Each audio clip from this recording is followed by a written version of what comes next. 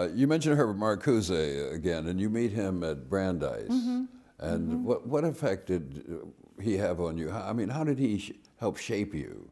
Well, he had a profound effect on um, on my life uh, and and my work. Uh, uh, I attended his lecture course uh, when I was a first year student, freshman, and I was drawn uh, by the way he uh, was able to put history and philosophy together in a context that allowed us to think about uh, the future as history. And so I watched him from afar for a while. Um, I can actually remember him uh, speaking uh, during the Cuban miss- Missile Crisis, uh, and um, James Baldwin was also on the on the campus. Then he, my second year, he um, spent in Europe teaching.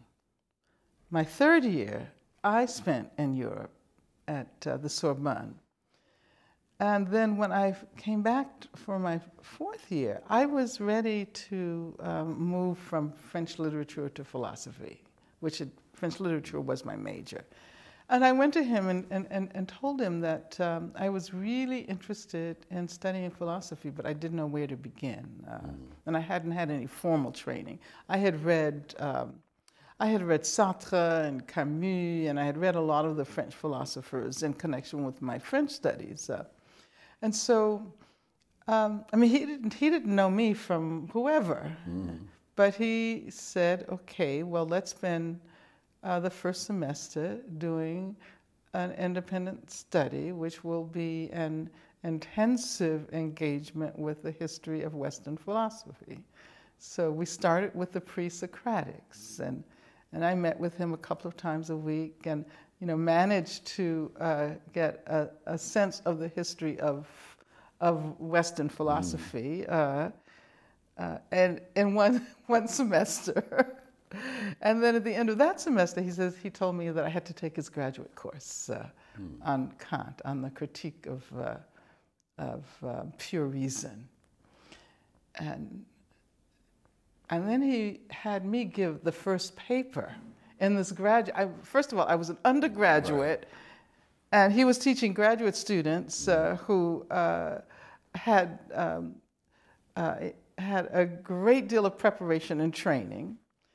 And so by the time I finished that, I was, I was hooked. Uh, uh, it was because of his influence that I decided to go to Germany and study with former colleagues of his, uh, um, Theodor Adorno and Max Horkheimer. And I kept in touch with him uh, during the period I was studying in Germany. And eventually, he was. Um, he was fired from his position at Brandeis uh, because he was considered to be too radical. It's a little more complicated than that. Uh, but in any event, he was offered a position at the University of California, San Diego. And uh, I spent two years in Germany, and then I, I returned to this country and studied with him San, in San Diego. And I would say what, what um, influenced me most was the way in which he negotiated his um, very um, close engagement with philosophical texts. He was an incredible reader of, of, of texts.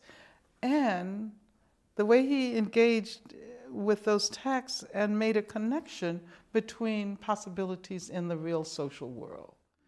And so I saw him um, I, you know, I took many seminars with him, but I also saw him speak at rallies. I also saw him uh, speak out against the war. I also saw him support uh, the black struggle. I also saw him support the student movement. And so, in that way, it was an inspiration for me. Um, watching him made it apparent to me that uh, there didn't have to be a contradiction between academic uh, research and social activism. So you saw an example of someone who was both, who could be a serious, serious scholar and also a political activist. Absolutely. A person out in the world more than just in the classroom. Absolutely. Why did you choose Brandeis? You're one of two black students at this uh, overwhelmingly Jewish school. Why Brandeis? Well, I think there were two black students in my class. There were a few more, uh, but there was only a handful on the entire campus. Well, I um, I went to Elizabeth Irwin High School.